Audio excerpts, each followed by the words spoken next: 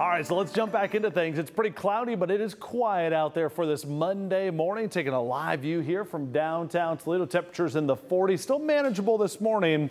But again, that wind will be picking up as we go through the afternoon. Let's talk your high temperatures here because now that we're getting into the mid part of November, we know the weather can make some pretty dramatic shifts. I don't see anything too crazy this week. Lots of 50s in the forecast.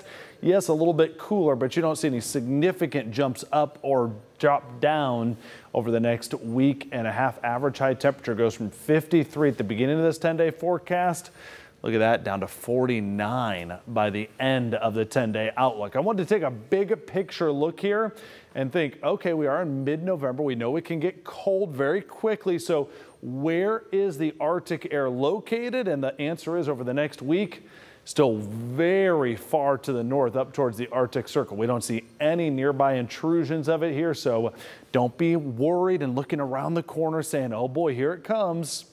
I think we're going to have a pretty typical mid-November temperature wise. Next chance for some scattered showers early Thursday morning. You'll wake up to some wet weather there Thursday.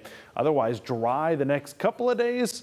The rest of our extended forecast, perhaps another chance for some showers there the second half of the weekend. Otherwise, that's the latest look at our 10 day forecast.